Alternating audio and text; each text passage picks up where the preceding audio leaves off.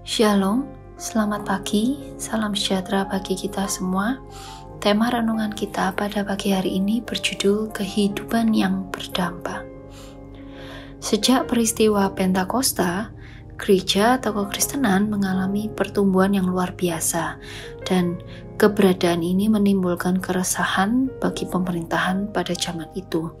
Karena itulah orang-orang percaya ditekan bahkan dianiaya oleh pemerintahan Romawi dan orang Yahudi yang membenci kekristenan. Sehingga orang-orang percaya harus beroncar, harus melarikan diri mencari tempat-tempat aman.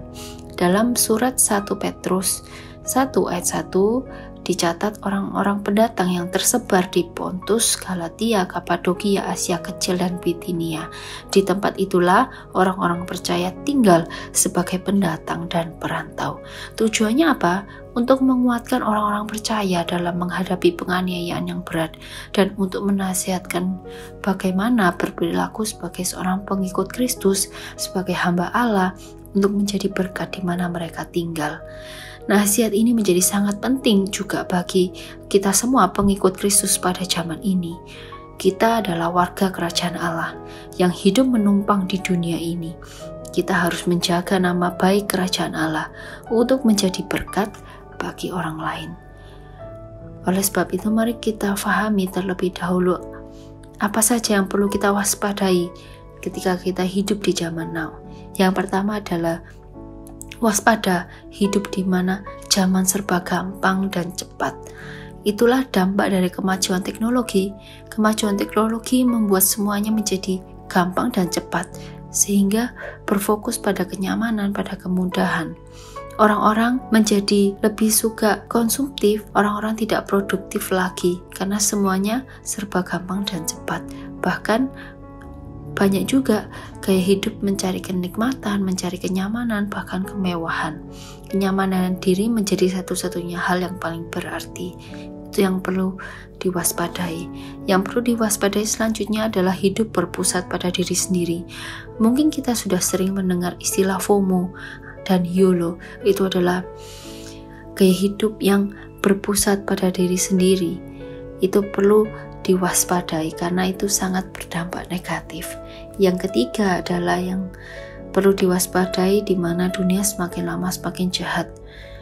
Kita tahu bahwa pornografi merajalela, kejahatan merajalela, bahkan sering kali dalam tontonan anak-anak akhir-akhir ini kita mendengar berita sudah mulai ada unsur-unsur LGBT yang disisipkan dalam tontonan anak-anak. Ini menandakan bahwa semakin lama dunia semakin jahat. Yang perlu diwaspadai selanjutnya adalah banyaknya bahaya-bahaya terhadap kekristenan, banyaknya faham-faham yang bertentangan dengan kekristenan. Contohnya seperti moralisme, di mana yang penting tindakan yang bermoral, Injil itu hanya berita saja. Itu sangat bahaya terhadap kekristenan. Contoh yang lain adalah seperti relativisme, artinya tidak ada yang mutlak, termasuk Allah dan Alkitab, di mana semua agama sama, tidak ada nilai-nilai yang kekal. Itu sangat bahaya terhadap kekristenan.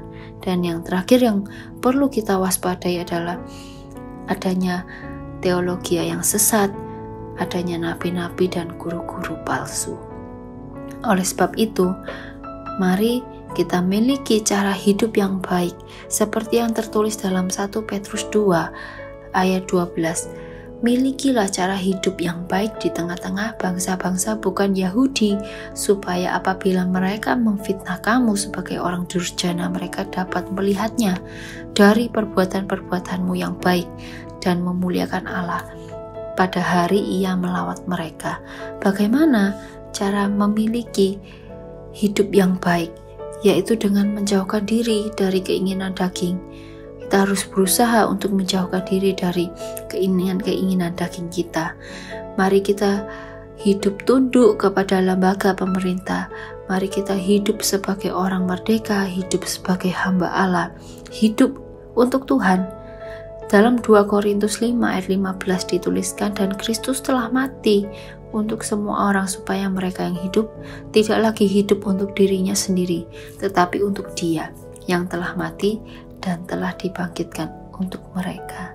Dan yang terakhir, cara memiliki hidup yang baik adalah teguh berpegang pada kebenaran firman dan pimpinan Roh Kudus supaya kita tidak mudah terombang-ambing oleh ajaran sesat. Ketika kita sudah memiliki cara hidup yang baik, hidup kita akan berdampak. Berdampak seperti apa? Seperti yang tertulis dalam 1 Petrus 2 ayat 15, sebab inilah kehendak Allah, yaitu supaya dengan berbuat baik kamu membungkamkan kepicikan orang-orang yang bodoh. Mengalahkan kepicikan, kejahatan, jangan dengan pembalasan, tetapi dengan perbuatan baik. Dan yang kedua adalah mari kita menjadi pelaksana amanat agung. Mari kita memberitakan Injil atau kabar baik tidak harus bermodalkan pengetahuan teologi ya, tetapi berdasarkan kasih dan anugerah Kristus yang telah kita terima dan mari kita memberitakan itu kepada mereka-mereka yang belum mengenal Kristus kepada mereka-mereka yang menuju kebinasaan. Mari kita saling menanggung kelemahan orang yang tidak kuat. Jangan kita mencari kesenangan kita sendiri, dan cara supaya berdampak adalah dengan berbuat baik. Mari kita tidak jemu-jemu berbuat baik. Dalam Galatia 6 ayat 2 dan 10 dituliskan, janganlah kita jemu-jemu berbuat baik. Karena apabila sudah datang waktunya, kita akan menuai jika kita tidak menjadi lemah. Ayat 10, karena itu selama masih ada kesempatan bagi kita, marilah kita berbuat baik kepada semua orang tetapi terutama kepada kawan-kawan kita seiman. Dan yang tidak kalah penting adalah mari kita berdoa syafaat. Itu semua mari kita kembalikan untuk memuliakan nama Allah. Saudara-saudara yang dikasihi Tuhan, tidak ada waktu lagi untuk menunda.